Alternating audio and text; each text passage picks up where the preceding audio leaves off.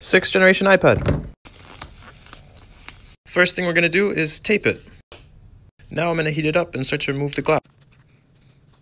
Multiple glass pieces to the eye later, and some bloodshed, and it's off. Just making sure it still works. Now I have to remove this super flimsy LCD, and I can tell you right now, it's not a lot of fun.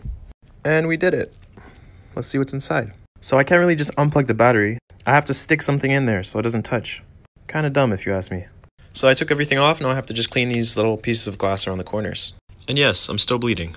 So everyone has their own technique for removing the glue around the edges. What I do is I dip a spudger in some alcohol and then I just scrub. I think I speak for most tech people when I say iPad repairs suck. They take a long time. I'm gonna take a break from this. We're gonna fix this. Done. I have everything installed again. We're just gonna do some tests. Get this. Clean up the LCD. And we're done. Just gotta tape it up. And thank you for watching.